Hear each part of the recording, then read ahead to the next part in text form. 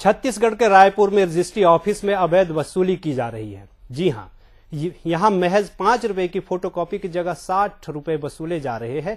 वहीं जहाँ रजिस्ट्री के कागज़ कार्रवाई में डेढ़ सौ से दो सौ पेज लग जाते हैं, जिसमें मोटे तौर पर छह सौ से पाँच हज़ार रुपए खर्च हो जाते हैं, जिसको लेकर बीजेपी कार्यकर्ताओं ने विरोध जताते हुए एसडीएम को ज्ञापन भी सौंपा और अवैध वसूली को जल्दी से जल्द बंद करने की मांग की।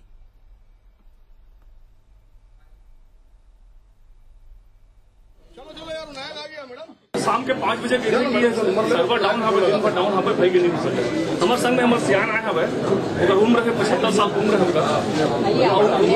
हमारे से परेशानी करते व्यक्ति हुआ अगर सरकार ला हाईटेक करना है तो फिर पूरी तरीके से करे ना, ये परेशानी वाली बात है। राजा से सबसे बड़ा माध्यम है और वहाँ लोगों को दिक्कत आ रही है। साठ रुपए ये लोग स्कैनिंग का ले रहे हैं। जबकि वही काम जो है प्राइवेट पाँच रुपए में हो रहा है तो कहीं ना कहीं जो है यहाँ पंजीयन कार्यालय में भरोसाई हो रही है, इसकी शिकायत हम पंजीयक जी से और अभी कलेक्टर साहब से भी मिलेंगे इस विषय को लेकर और आईजी मुद्रांक से भी बात करेंगे कि तत्काल व्यवस्था में सुधार होना चाहिए। कहीं ना कहीं जनता को परेशानी हो रही है और जनता की परेशानी को जो है उसका निराकरण करना बहुत ज़रूरी है, क्योंकि हम लोग भारतीय जनता पार्टी से जुड़े हुए लोग हैं। चार महीने बाद चुनाव में जाना है, जनता के बीच में जाना है।